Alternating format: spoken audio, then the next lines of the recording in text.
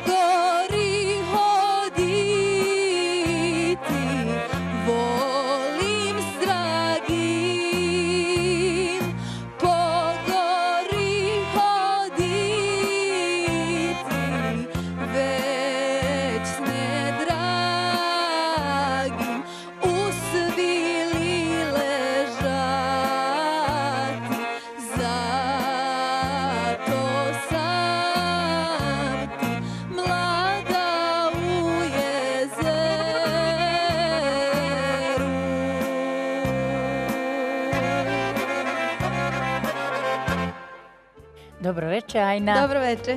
Ja tek sad, danas primjećujem da ti s nekim radiš, jel tako?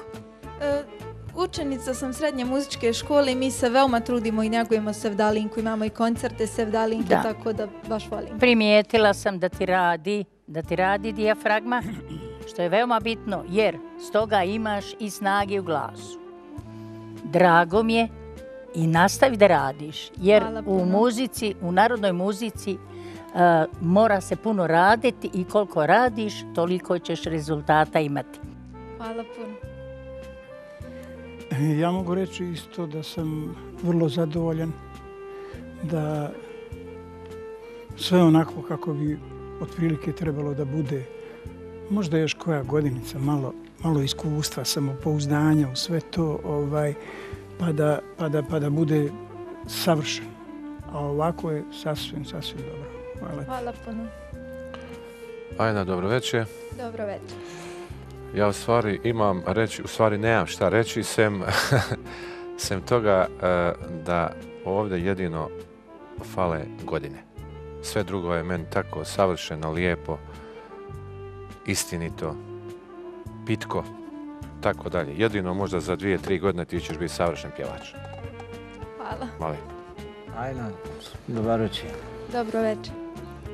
Tete, ja ću jednu rečenicu da ovaj, stavim i da kažem da tvoje ove godine izvanredno si ovaj, otpjevala ovu pjesmu i eto, tvoja će biti profesija, mu- muzika, samo pjevaj i neće biti problema, bit ćeš veliki, veliki umjetnik.